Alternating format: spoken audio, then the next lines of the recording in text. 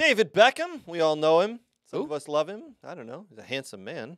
Uh, Inter Miami owner, guy who brought Messi to the USA. So you know Brooks loves him.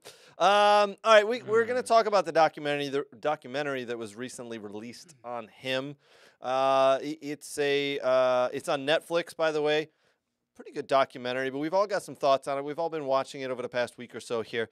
Uh, Nate, uh, why don't we start with you, my friend? So, what as a thoughts? former Blockbuster employee, let me- Holy shit! I still got my blockbuster card. Can Yeah. I use that? Uh, no, Oh. uh, we revoked those unless you're in Alaska. So, as a former man of the film industry, if you will, I'll just uh, parlay What did he just say? film industry, Blockbuster. man of the film industry because you worked at Blockbuster.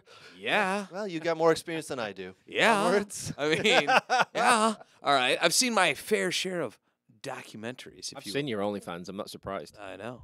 So so um from a just starting out with this thing to break the ice before we get into the details and the nitty gritty. If you haven't seen it, it's a I think it was a very well shot, very highly uh, entertaining documentary. Even if you're not a Beckham fan, even if you're not a Manchester United fan, it is a well told story. I thought the way they set it up, the way they filmed it, the way they shot it, the, the how it flowed, how it built, how it like transitioned from from because there's sometimes you watch documentaries and they're really hard to watch. They're boring.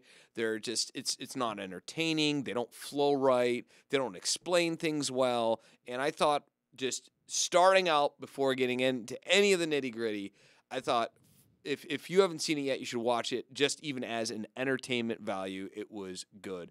Far better than Wrexham season two so far, which has been absolute poor, if you ask me for all for lacking for all the reasons that I just labeled that made actually season one very good. Uh, yeah. Okay. All right. Understood. Brooks, what uh, what did what did you think of the uh, the documentary on David Beckham, my friend? Yeah. So okay. So obviously, all the viewers know that I'm the youngest on the show. I'm. I'm not. I'm not. I'm not. Whoa, Not. No. No. No. Hold on. Hold on. What hold was on. the point of saying that? Hold on. People You- thought I was the youngest. Listen, you guys lived the David Beckham like you like from when he started there to the end of his career. I did not. I, I, I Yes. you know, I was like probably I'm talking like Real Madrid, you know, into his LA Galaxy days. Remember some highlights from his Man United days, you know. Um, but uh, I will say this: it. I agree with Nate. It was very well produced. I like, you know, how sometimes they forward to the present, then then Yeah. back. Like they they connect things very well. It was Yep. very well connected. Yep. Mhm. I enjoyed Victoria Beckham's take on things because you I did. think she would. Well, yes, yes. It's Posh is Posh is very uh Yes. yes Poshy, whatever that means. I don't but yeah. Go for it. Yep. Um, but anyways, but uh, they integrated her and him, and then other important people within you know the scenarios of what had happened. I think they interviewed all the right people, and just the story was very interesting because I knew, you know, I knew things, but I didn't. You know, like I said, I wasn't born then. I didn't know how bad. You know, when you know the kick on Simeone and how much crap he took for that. I still don't like Glenn Glenn Hoddle. He, I'm sorry, he's he's a wanker. I'm sorry. I don't like him. I thought that was unfair treatment to Beckham, um, especially to someone that young. And um, you know, I, I enjoyed how Landon Donovan talked about his experience with David Beckham in, in the locker room with LA Galaxy and and what was talked about. I think that was great. You know, where you know whoever the inter- interme- uh, intermediary was to, within the conversation to say like David, you have to understand this is Landon's Manchester United, LA Galaxy. This means the world to him. And then snap, like David's like, okay, I get it. Like I gotta, I gotta put more time in here. I can't just thinking about going back to Europe. So there were a lot of good things for me that I really enjoyed about his journey and then the story. Okay, And yeah, alright. so You uh you, you undersold it a little bit there because you've been raving about this for like Really? a week now. You've been raving. So oh, Yeah. yeah, I'm you going had. to more after him, but yeah. I, I- am I not wrong, right? Like he, No. he mentioned it two or three times in the group text. Did I really? This is the second letdown this week Yeah, From me? yeah. from you Yeah. from Man. group text and absolutely. things you've What was the promised first? And re- oh, you know. Oh, first. we'll get You to that know. in Wrexham? the next week. No. No, we'll get to Oh, that. oh. No, you know. You know. You have to do with the picture that was posted on the Facebook? Yes. You're doing it, and we all want to tear it. Yeah. Yeah. Oh, Uh, at some point we'll do it. Uh, before we before we get there though, let's finish out the Beckham documentary. So it is uh, titled Beckham. Uh, Danny, this now Br- uh, Nate, you are a Manchester United fan, but but but Nate, you are a Manchester United fan. You are a big fan of Manchester United. You know all the stories. Brooks is not necessarily a Manchester United fan. He's not a hater. So He knows some of the stories, but I expect it. But to me, a- and no offense to anybody else in the room, Brooks is a 100% American soccer fan and likes the English Premiership game and is still learning about what happened in the 90s and 2000s. Yes. so to be honest, Yep. like a lot of that Mm-hmm. stuff that happened, and basically, I didn't start following United until he left. Okay, Not because okay. of him. So Yeah, a yeah, lot yeah. of that was very, very Okay. new to me. Yeah, yeah. I lived Um. Say Yeah. what? and I lived it. Yeah. Yeah. So I didn't Did. live any of that. So you you Like- you, you kind of okay. So I didn't Yeah, know that. So no, that's yep, good. Yep. I was I was more like uh 2000 I would say 2006 2002 somewhere around there Okay. when I jumped in I was the Rooney era Yeah. you know that era Just, that just after he left. just right? after he Okay. left you know So- I so I knew who he was I knew what he was but I wasn't I didn't experience Now all that stuff in the Now, beginning Danny grew up in England in and around this area and, and lived it and, and breathed it and had the haircuts. Mm-hmm. Danny, uh, I, I will, I will give, I will let you go at it and have your thoughts, and then I'll put mine in, and then we'll have a discussion about the whole thing. Yeah, no, I a lot of it, a lot of a lot of it, I already knew. You know, from his childhood. You know, from the time he came to Manchester United, how he came to Manchester United.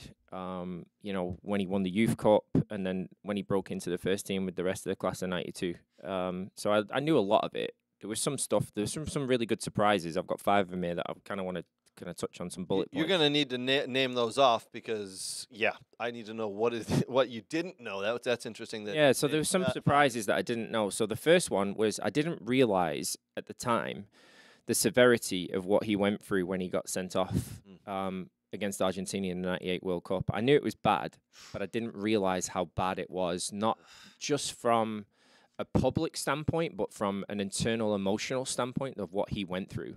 Gonna let you. f- I got a, I got a little bit of a counter to that, but I'm gonna let you finish. Sorry, go ahead. I want, I want to hear the five fully ones, but yeah, that so makes I, didn't realize how bad it was. The second one was I wasn't I wasn't aware at the time um, that United had agreed a fee with Barcelona Mm. for Beckham when Sir Alex walked into Carlos Queiroz' office and was like, "We're selling Beckham." Yep. I didn't realize It was Barcelona. It was Barcelona, and then when when David um, called Sir Alex and wanted to talk with him, and he said, "No, I don't want to talk to you," he was like, "Okay, well, you know what."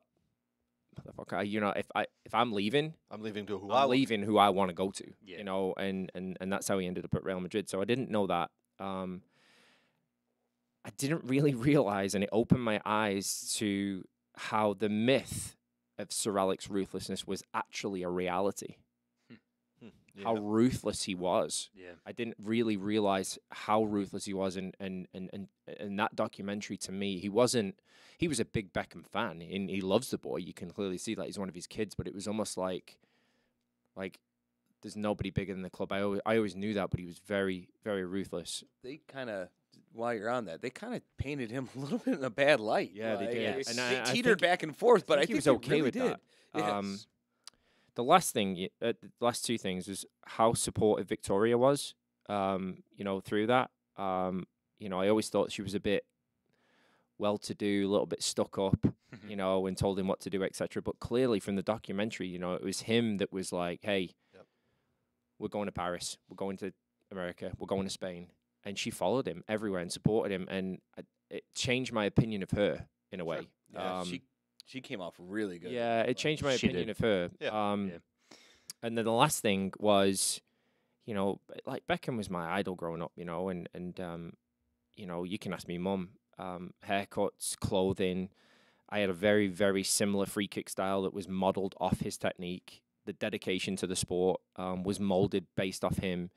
Um, you know, and after that documentary, really, to be honest with you, just watching it in depth, you know, I couldn't really be more prouder to say that David Beckham was my childhood idol. I loved him, you know, and, and, and that documentary was really well done.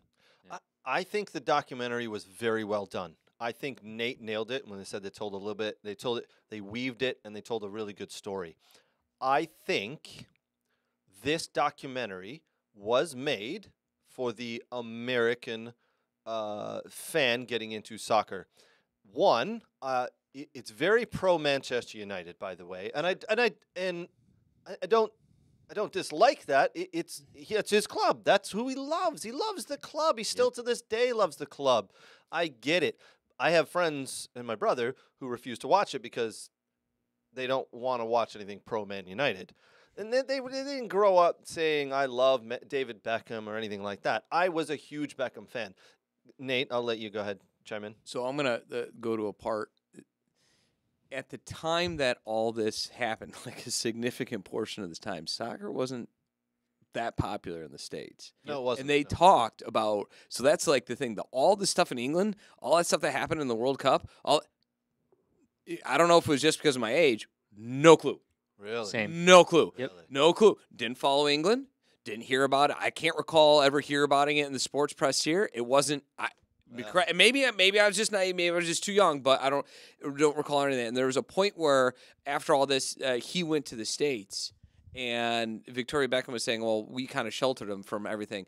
I don't think it was so much uh, that they sheltered the Spice Girl sheltered him from everything. Yeah. I think it was the fact that he was in the U.S. and everyone was just going. Oh yeah, that's Victoria's Beckham's husband. He plays he plays Yeah. football or No, something. you're- he you're plays not wrong. soccer or something. I, it just wasn't a thing. Correct. I think I think the documentary, and I'm going to counter Danny's point a little bit here. I think the documentary overdid it. How much abuse he took. I know he took a lot of, abu- of, of abuse. I know this. Trust me, I get it. I think they went and took it from where it really was to here for the story. I think they told a very good story.